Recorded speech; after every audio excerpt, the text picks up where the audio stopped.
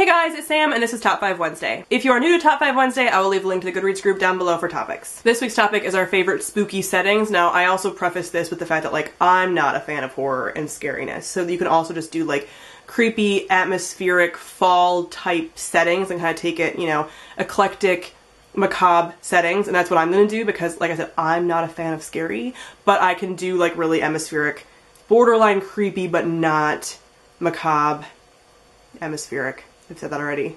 settings. Number five is The Night Circus by Erin Morgenstern because it's the most atmospheric book ever, but also because I just think circus settings are really good for this, that I really like settings, like not creepy haunted circuses completely at all. Like I will not, no, no, no, no, no, no, no, no, no, no.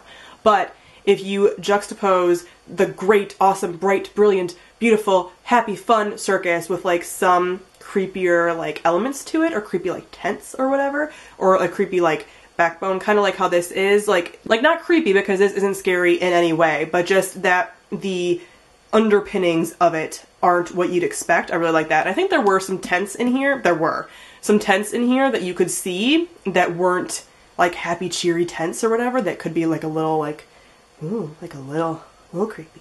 So, I like this one. It's not a totally spooky setting, but it's like just spooky enough. Number four is a creepy forest setting, and I think this is done really well in Uprooted by Naomi Novik.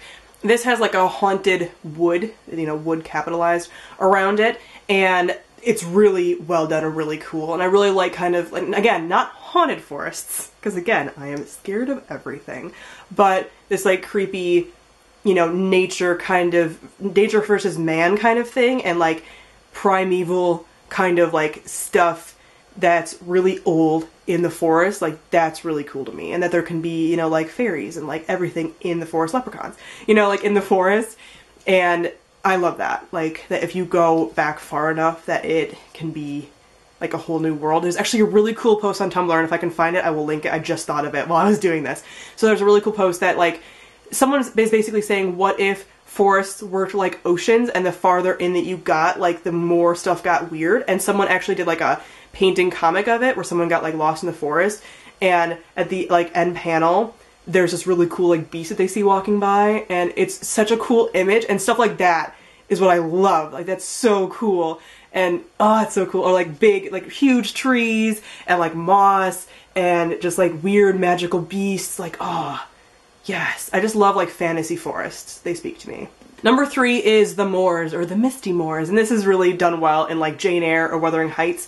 And the reason I even mention this is I loved Wuthering Heights when I read it as a teenager, and it's you know like a tragedy and it's crazy and I love it. But there's a Netflix. It was on Netflix. I don't know if it is anymore. I think it's BBC, but it is a mini series of Wuthering Heights, and Tom Hardy plays Heathcliff, and it's so over the top but it's so good. Like it's so angsty, but the moors and everything is just like so creepy, but again, it's not like haunted or anything, but it's a really good gothic setting. And I like a good gothic setting without being too scary. And the moors is like the perfect gothic setting. And especially in that miniseries, which again, like I said, totally over the top, totally angsty, like crazy, but I love it.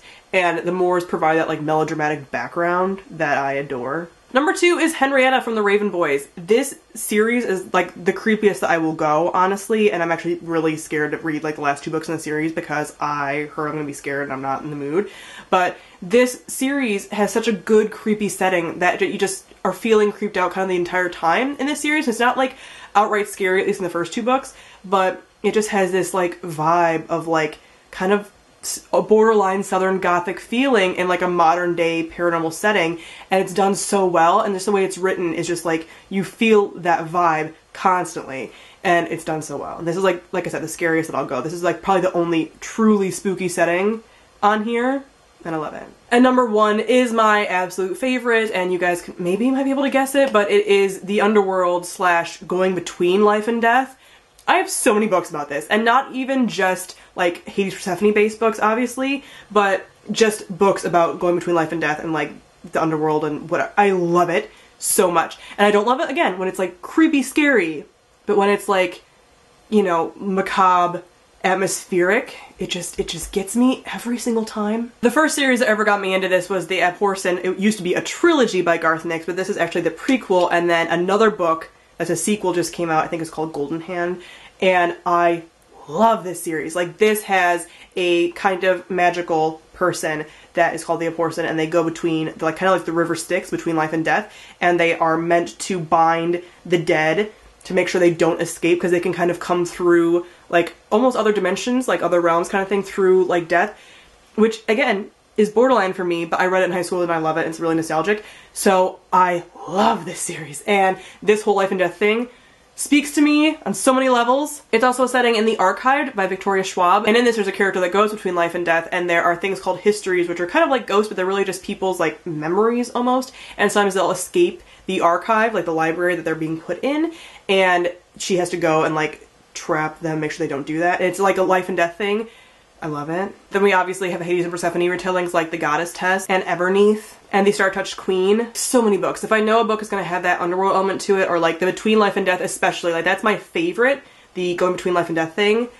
So spot on. So if I know a book's going to have that, I need to have it. And that's like the creepiest setting that I can really deal with. And again, I don't want to be like scary, but I like I like the whole like exploring the underworld thing. It's so cool. So that is it for my favorite spooky settings. Comment down below let me know some of your favorite spooky settings. Please don't scare me though because I'm not into that, but I prefer these kinds of like atmospheric settings. So if you have any recommendations for books that are similar to this and have that, like especially if you have recommendations for like between life and death kind of books, comment down below let me know. So thank you all for watching and I'll see all you guys soon. Bye!